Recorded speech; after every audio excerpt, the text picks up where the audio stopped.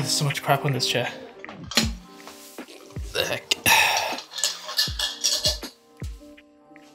Everyone, welcome back to a new episode where I'm reacting to the AMVs that you guys have requested. We're back in lockdown again here in Melbourne, so that has kind of given me a little bit extra time to follow up on all these different requests. There's been plenty of AMVs that you guys have sent through, so I'm going to try my best to keep up with all the suggestions. Speaking of which, if you guys want me to react to anything else outside of AMVs, let me know because I'm down to watch anything and just give my opinion and thoughts about them. And speaking of different opinions and thoughts, I am going to be mixing some of this content up as well, talking about my experiences and reflections on other things outside of AMVs. Uh, so look forward to that type of stuff too. Uh, speaking of which, I made a pinch block, and this is basically for climbing training. Um, it's just to work on your fingers and your pinch strength. Just made this because you we're in lockdown again and also I need to do this for my finger rehab, which I injured a few months ago. So yeah, anyways, that's to explain this chunk of wood. Also again, I don't know why, but YouTube seems to be removing some comments or something because I'm still getting notifications that I can see in my notifications, but I can't see the comments on the videos itself and I can't reply to them. So again, if I'm not able to get back to you, I'm sorry. If you delete the comment, then fair enough. But yeah, if you're not seeing any replies from me, yeah, sorry about that. It's for some reason I can't seem to get around these missing comments. Anyways, let's get into the video itself. So I'm actually going to be reacting to two AMVs, but from the same person. Uh, one's from Enigmo, who requested Into the Labyrinth by Lolligerjoj. Don't know if I'm pronouncing that properly. And the second AMV is Tan X in brackets by Lolligerjoj, and that's requested by Golden Thunder. So what's really interesting about this from the get-go is that Tan X apparently was a bit more controversial, um, which I'm pretty interested in because I love to see stuff that brings up these kind of discussions. I'm really interested to see like what this uh, AMV creator has made in these two AMVs. So let's get straight into it. First off, let's do tan X. Silence. Ooh, sudden start. I like that. oh yeah, straight off the get-go. Using Twixtor. So I'm assuming this AMV creator uses Twixtor a lot from the sounds of it. Oh yeah, that's trippy. So Golden Thunder said this was more of a psychedelic kind of AMV and I can see that straight off, oh, straight off the bat. that's cool. Oh, that's nice. Alright, I'm gonna pause right there. So when I first started making AMVs, I tended to make very straightforward um, stories, but in my later days of, and more towards my tail end of my AMV days, I started making things more experimental, more conceptual. I love that kind of stuff because it's just, for me personally, it's really interesting to see more about the emotion rather than like a straightforward story. So with this one, where it's completely conceptual from the looks of it, it's pretty damn cool. Uh, speaking more about the Twixtor stuff, back when I was making AMVs, it was still quite new. And I personally didn't really want to use it because of the artifacting issues. The capabilities of that plugin wasn't quite where it's developed to right now. So when it was creating those extra frames to make 60 frame videos and longer slow motion uh, segments, there used to be a lot more artifacting going on and lots of I wouldn't say errors, but just like miscalculations on the part of the plugin itself. So then you'd get these frames where like certain details were all over the place. Watching this right now, it looks pretty damn seamless, which is really awesome. Oh yeah, I'm loving this so far. Oh, these ripple effects. What's going on? That's cool. Nice. Oh, okay, I'm gonna stop it there. Another thing I'm really liking so far, and I'm only a minute into this, this person's use of, I guess what you would say is like very common or basic effects, but utilizing them in a much more complex and effective manner. So for example, things like those frame cuts or like frames within a frame. I like the way that they're using it to juxtapose certain imagery on top of each other, those cross dissolves as well, those simple hard cuts. There's also that jittery sort of um, effect that's happening there too, which is really cool. And then the one that made me really hit pause was that shift in hue where it's going all rainbow. So I've seen those effects a lot, especially in beginner AMVs, and I'm guilty of this myself. But that effect tends to look a bit um, it's gonna sound really mean, but sometimes a little bit cheap. But the way that this person has pulled it off to convey that psychedelic effect is really cool. So I like the way that this person's utilizing all of this and packaging it in this type of way. Also, the anime sources for this are really, really well chosen. it just really highlights that um that druggy effect.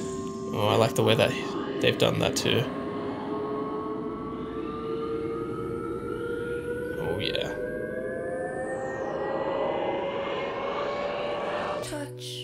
Oh, that's nice.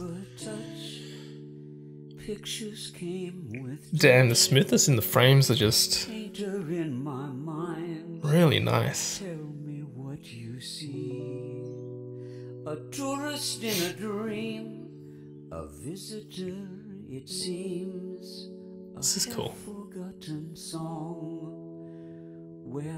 Oh, that's trippy. For a second there, I thought that was Twixtor, but it's actually just a bit of like that um, lagging in frames and then putting that on top of another layer.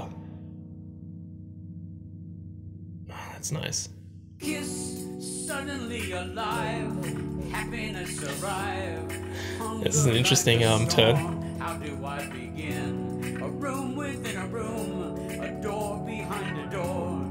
Touch, where do you lead? I need something more. What you see. Oh. I need something more. And again, with those like very subtle cuts in the frame, the way that this person's shifted like a half of the frame just a little bit off and then pulled it back in. It's just those subtle little touches that really add to that almost sense of uneasiness to it. Like it's almost like something's just a bit off um, in each of these frames. Kind of gives that paranoia feeling.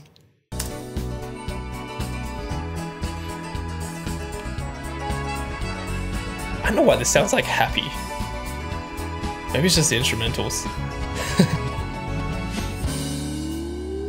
oh wow. I haven't even seen this anime. I've not been keeping up with my animes. Hmm, that's nice. Oh. Yeah, this definitely makes me feel really like sluggish now. Actually, you know what this this really feels like a trip. You start off slowly easing into the whole effect of the drug and then you get you hit this like peak happiness moment and now it's going to like the withdrawal symptoms and like the really emotional areas of that trip as well which is really interesting does this tell you guys a lot about my experiences? I don't know. Anyways, let's keep going.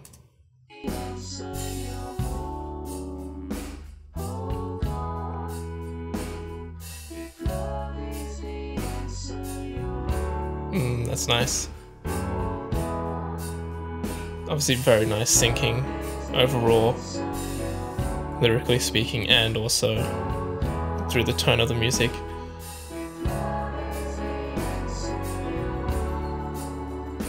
Really cool to see like a blend of like some older animes with newer animes too. Ah, girlhood up through time. Whoa. It's so trippy seeing that in like 60 frames. It's like, it's almost too vivid to the point where it like hurts my brain, but in a good way.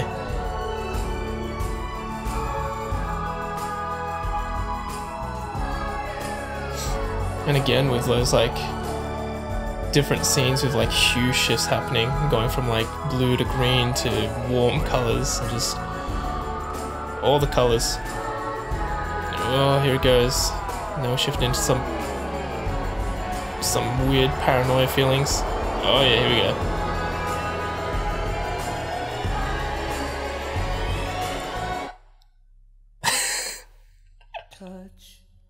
oh, what a good. Yes, touch. oh, we're almost at the end. This goes sound really weird, but this frame bring, uh, brings back memories. Yeah, I made that AMV with the movie End of Eva. Alright, so what I did with that frame in particular was I changed the semen to blood and then made it look like Shinji was some sort of mass murderer going on like some sort of psycho psychotic breakdown. So seeing that again just kind of brings me back to that MV, but also just how messed up that moment was in the movie itself because uh, yeah, I think it's pretty self-explanatory. But um, anyways, I thought I might as well touch on that while we're here. So let's keep going. You've given me too much to feel, sweet touch. You've almost convinced me I'm real. Oh, that's sad. I need something more. I need something more. Oh yeah, yeah, that's a mood. That's I feel that.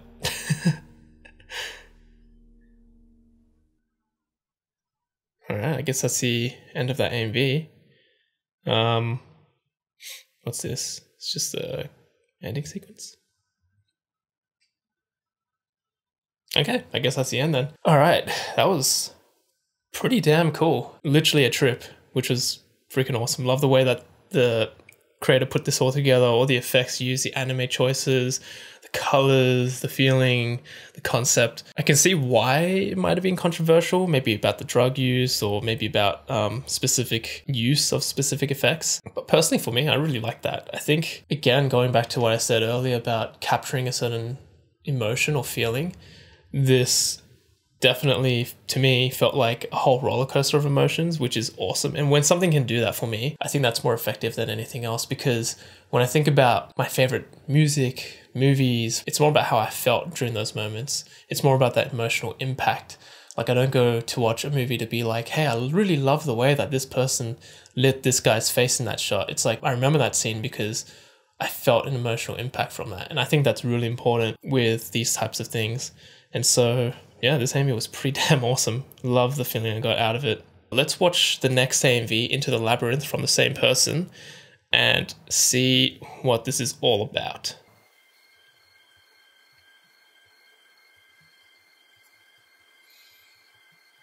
I haven't finished this anime now that I think about it. I should probably finish this anime. I even forgot what it's called. but I always remember like loving the aesthetic and stylistic choices that they did in this anime. Oh yeah, there we go. Right, so I see why the, um, this person's really known for using Twixtor. Mm, so the editing style is pretty similar to the previous AMV. Oh, some RGB twitches and shifts going on here. Sticking to that little synthy piano sounding instrument. a lot of those hue shifts as well. This person loves their rainbow colors.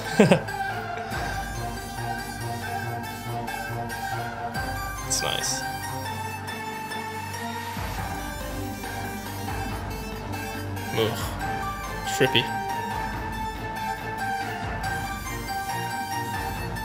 Hmm. I don't want to pause on a drop. That's what I'm worried about. Okay, we'll pause here actually into the labyrinth. The colors, they really love using colors very effectively, by the way. It's almost like a barrage of just like things that attack your you know your your senses. It's almost kind of relentless in that way and in some ways it's almost exhausting to watch. Oh, my eyes like are trying to keep up with all the colors and things that are happening, like the RGB twitches and the shifts in the colors from shot to shot, the high amount of frame rates I have to take in as well. But I have to say, like the way that this person has utilized Twixtor is really damn effective. Again, it's like a sensory overload. It feels like it's very intentional in that um, area. But again, talking about that whole artifacting issue, like it looks really damn seamless and smooth in the way that this person has utilized it. I haven't used Twixtor for a very long time. And so I don't know how far it's gone in terms of like uh, its improvement and updates, but here it's looking really, really good. All right, let's get back into the labyrinth. Oh yeah, what a trip.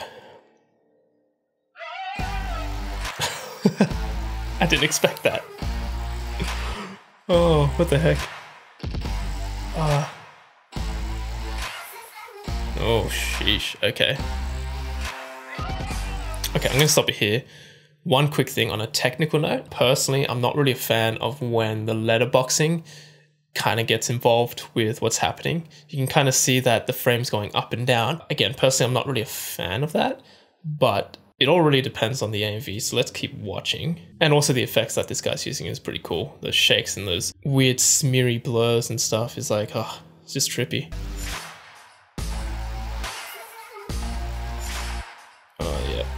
And I use those RGB twitches a lot as well. I still use it to this day. Alrighty.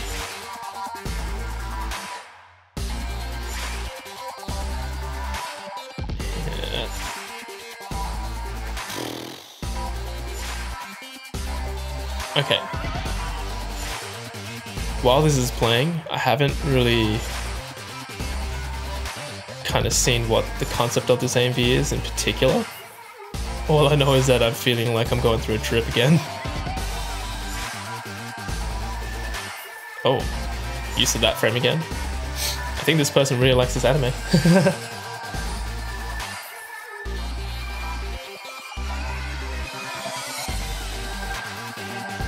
Whoa, there we go again with like the hue shifts. This person really likes their colors.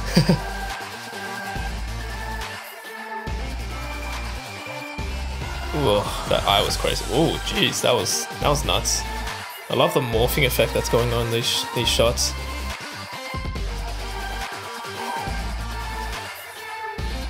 Whoa. Okay, I'm gonna pause it there real quick. Oh, there's a lot going on. Um, that's a lot happening. Uh, I was like afraid to like pause at any moment because there's just so much to take in. First off, those morphing effects that are sort of like helping the transition and also carrying the action and the fluidity of the momentum all the way through as a mouthful of words is really well done. It's really cool. Again, very relentless. That morph effect, I really like the way that this person has utilized that to make those animations in the aim, uh, the animes themselves even more exaggerated, more liquefied. It's just really trippy to look at. Trippy is the most appropriate term so far for both these AMVs.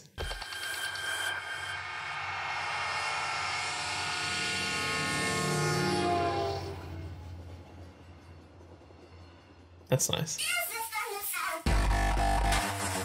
Oh, getting some dub. Here we go. Wub wub wub. Wubba lubba dub dub. That's a good way to utilize lip flap.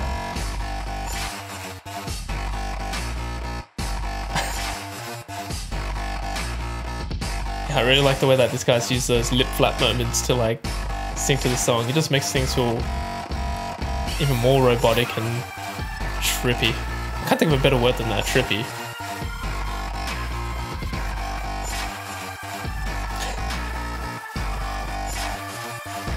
Now utilizing like those pixelated effects as well to give that extra glitchiness to it. More speed ramps. Yep. Now I remember this scene. The animation in this scene was so beautiful when it first came out.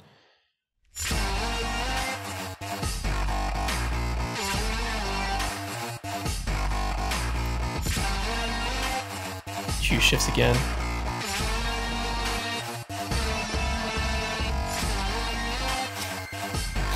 Nice.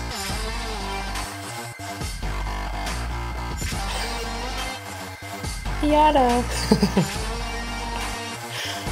uh, anyways. Oh, I don't know if that's from the anime itself, but that's pretty cool. Oh, is it done? Oh, okay. is there anything else after the title? Created by Lolly Kushosh. I don't even know if I'm pronouncing that correctly, but uh, I hope I hope, uh, I hope I'm saying it correctly. That's the one. Bakemonogatari. Nise. Oh, I haven't seen the other ones. What the heck? There's more. I only heard about the first one. I am so out of date. Anyways. Okay. I hope me rubbing my eyes is not an insult to the creator. It's not taking away from my experience. It just feels like there's a lot to take in with the extra amount of frames, the information that's going on. Whew. Okay, so the intention for this one, I feel like personally for me wasn't as clear as the first AMV, but again, I really enjoyed this one as well. This person definitely has a very strong sense of personal style, and you can see that in the way that they've utilized very specific effects, very specific stylistic choices. So it's always cool to see someone who has a certain style and that's always implemented in the AMVs. It's almost like having like a personal signature. But yeah, I mean, I can kind of see why that might be a little bit controversial, but again, for me, I really enjoyed that. That was crazy. So to elaborate a little bit more on Twixtor, again, I didn't really use it much because I wasn't a fan of like those uh, artifacting and stuff going on, but in this AMV in particular, it looks so smooth. There are some moments where it looks like there's a bit of frame uh, blending happening here and there, and there are like tiny bits of details that are like a little bit out of place. And then in the next frame, it's like shifted back into place as well. But again, some of those, uh, I mean, if you want to call them errors, some of those imperfections actually works really well with this person's style because they implement so many things that is meant to distort and reshape some of these shots and frames into something that's like completely, you know, almost disfigured.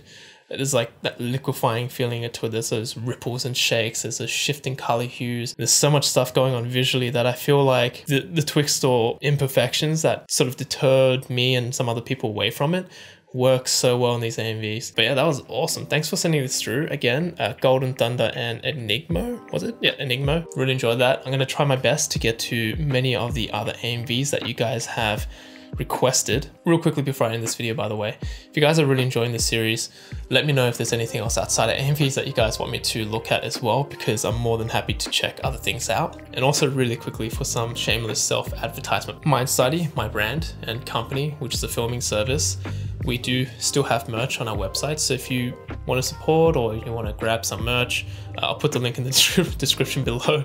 God, this feels so shameless. But if you also want to see uh, tutorials and me talking about my filming journey and stuff that we've made, uh, in Mind Society Studios. I have the link to that channel in the description below as well, so you can go over there and check it out. But yeah, again, like if you guys are interested in checking out any of the merch or any other stuff on my website, I'll have that in the link in the description below. And my socials will be on the screen too, so if you want to hit me up at any time, feel more than free to do so. And I'm more than happy to have a chat, whatever comes to mind. But yeah, that was my reaction to these two AMVs from Lolly Gushoj. Again, hope I'm saying that correctly. Um, and I guess I'll see you guys all next time.